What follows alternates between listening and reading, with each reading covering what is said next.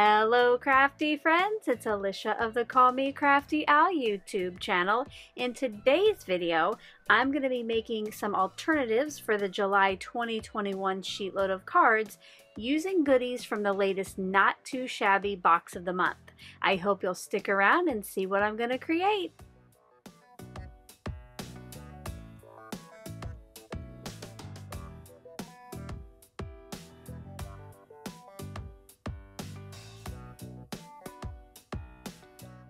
Thank you so much for stopping by today. If this is your first time to my channel, I hope that by the end of this video, you'll be inspired to click on that subscribe button below and ring that bell for notifications. If you're already a subscriber and regular viewer, welcome back. I'm so glad that you're here again. I did mention it last month to give you a heads up to go ahead and get subscribed to the Not 2 Shabby Box of the Month kit, but this month is so adorable, and I'm glad that I'm here today to share some cards with you using pieces from the kit. Now I will show you closers up of the items I'm going to be using today, but if you would like to see the whole kit, I will link the release hop hashtag in the description box below and you can check out all of those wonderful designers creations as well as they show you a closer look at the pieces.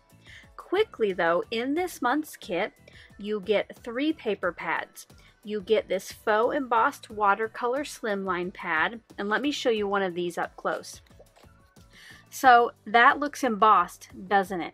But it's not, it's flat. So you can get that gorgeous look, but then you won't have the added dimension if you're going to mail these. And there are lots of pretty colors, and they just kind of an ombre watercolor look, and then those great textures. The other two paper pads are 6 by 6 There's the summer flowers with lots of great florals and some pastel patterns, including some ombres. I think some of these would make great like backgrounds, like almost like wallpaper if you were doing a scene.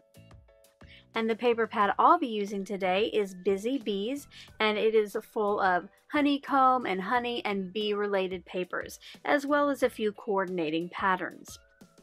There are two stamp sets in this month's kit, and because my card is bee related, I will be using the Buzzy Bees set. It has all kinds of adorable little bees here, as well as some coordinating sentiments that I just think are so fun. The other set is also kind of insect related, but you have a variety. A ladybug, another adorable little bee, a butterfly, and some snails, as well as, again, coordinating sentiments for those. And then this month's ephemera set is just as cute. It is full of adorable bees, you have cute ladybugs, and there's some snails in here, butterflies, so I'm going to be using the bee themed ephemera, some pieces from that. And then for embellishments this month, you get a rainbow of Gina Marie Designs gems and a little packet of shaker mix that has some, I think they're polymer clay flowers, some sequins, great for the bee and the pollinator theme of this month. If you're interested in this kit, I do suggest heading on over to the Not 2 Shabby shop now. You can buy the paper separately, but if you want the stamps or the ephemera, you do need to get the kit, and there were just a handful left when I checked as of recording this video. I do have a link in the description box below, and I do have a discount code down there. You can't use it on the kit, but Not 2 Shabby has other products of their own, as well as many products from other stamp companies. So I hope you'll stop by there, pick up this adorable kit, maybe throw some other things in there and save money on that in front of me are the supplies that I'll be using for today's cards. I did pre-select two pattern papers from the pad.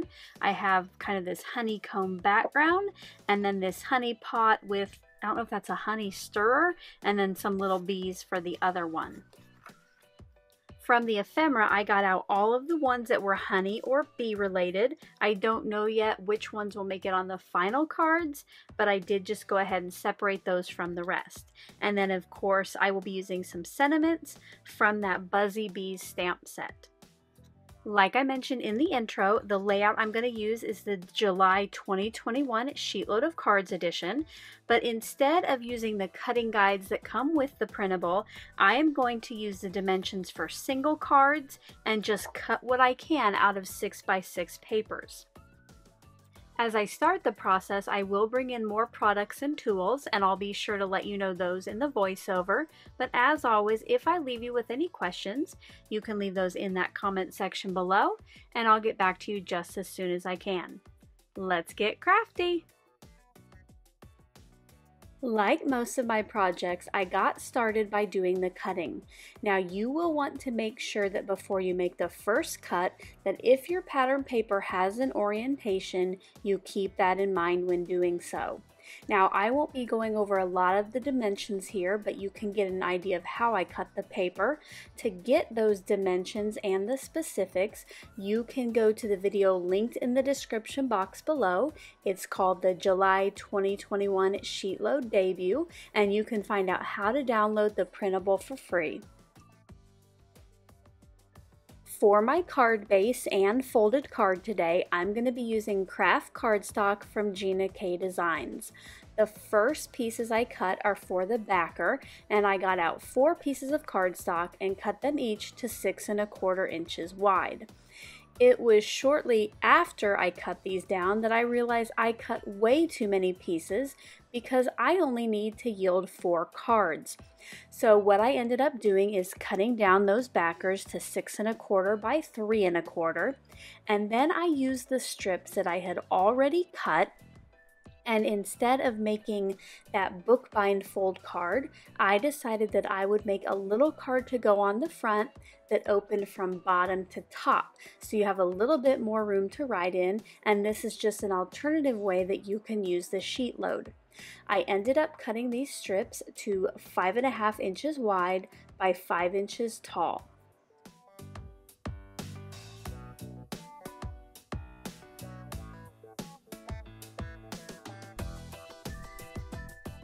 Normally with just half folds, I would just fold these by hand, but this card is a little bit thicker, so I did bring in my Scor-It board and I just scored a line down the center so that those would fold nicely without any cracking on that fold line.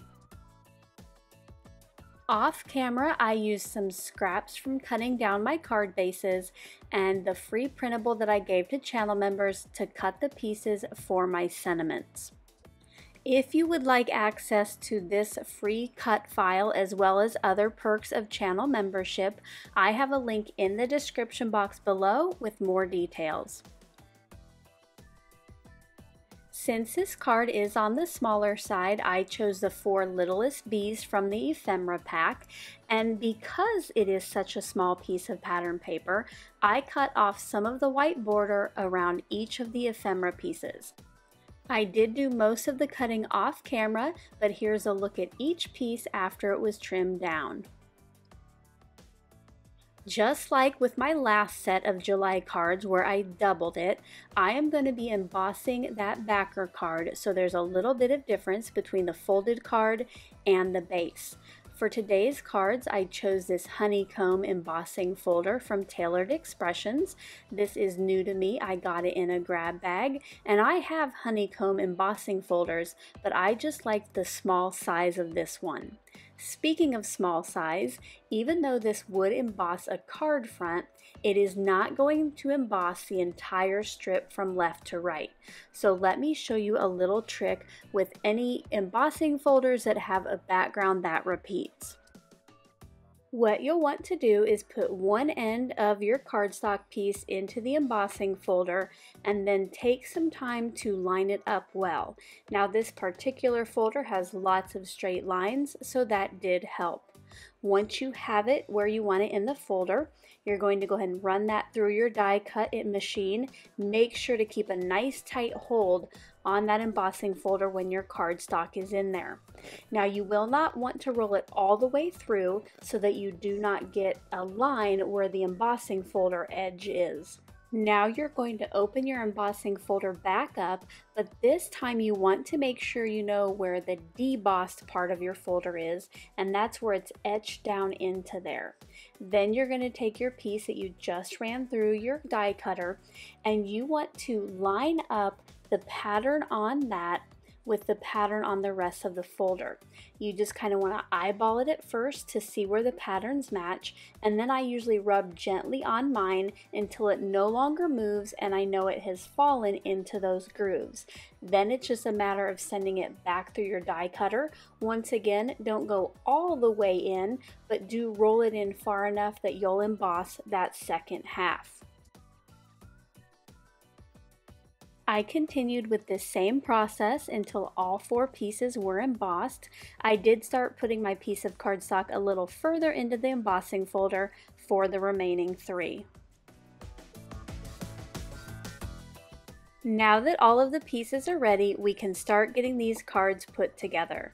The first thing I'm going to do is put my pattern paper onto my card base, and this will look similar to the original process, but you will want to keep in mind once your adhesive is on the back of piece A, you're going to want to make sure you put it to the right side of that fold card, and you want to get about an eighth of an inch border on the three outer edges. Then you're going to put your adhesive on the back of piece B. And when you go to put this on the card, you want to make sure that you don't do the eighth of an inch between the two pieces. You want the eighth of an inch to be around the outside edges as well. On the original sketch, there would have been a score line there and possibly some twine that would separate those two pieces evenly. But the way I'm doing the card today, I will cover that up in a different way in just a little bit.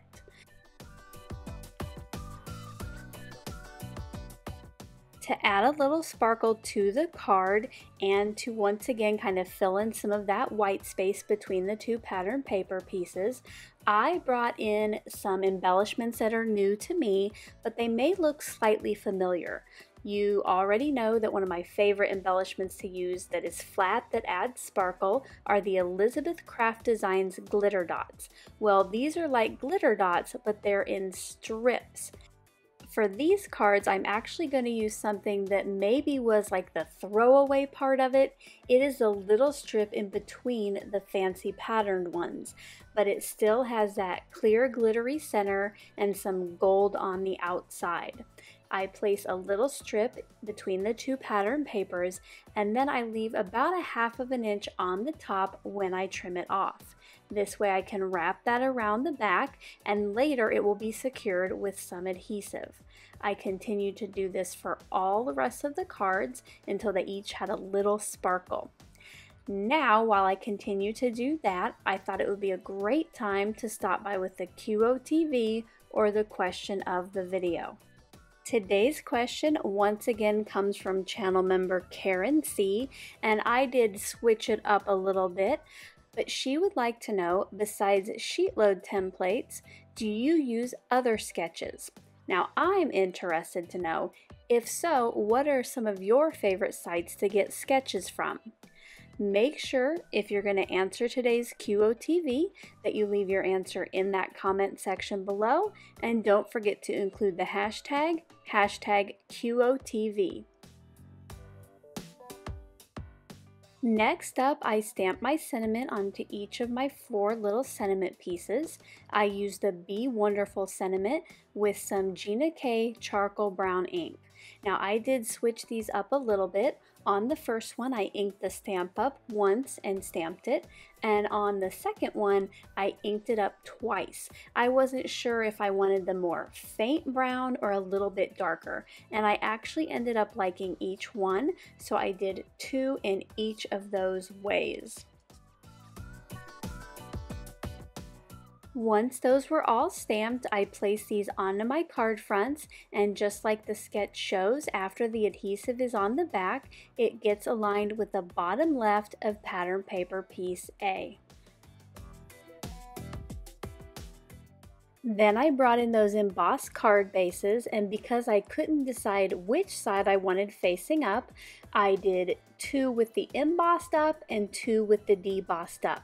Now the first card I'm going to put together is where the embossing is up and because it doesn't have as much surface area to adhere to, when I place my adhesive on the back, I did end up doing a couple strips through the center just so that there was some more sticky on that so this card would stay together. I finished putting the cards together like this and then it was time to get my little bees put onto the card fronts. Since the card was pretty flat so far, I brought in some mini dimensionals to pop my bees up off the card.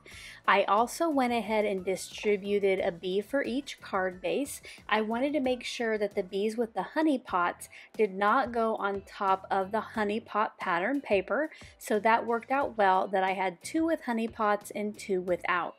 I added some of those little dimensionals to the back and then I popped that on the card.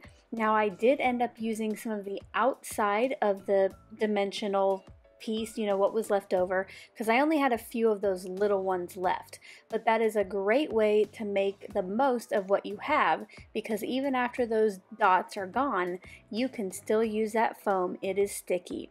Here's a look at the finished set of four cards.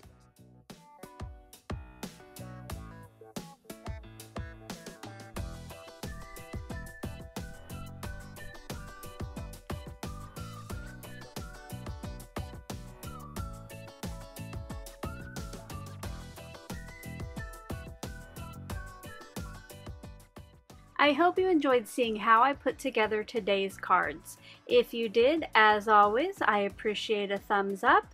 Don't forget to visit the Not 2 Shabby shop. I have all of their links in that description box below. And until my next video, I hope you're all having a crafty day. Bye-bye. Thank you so much for taking the time to watch all the way to the end of the video. I hope now you'll consider clicking on one of the videos or playlists I have linked above, and if you're interested in any of the products or tools I used in today's video, I do have some links in the description box.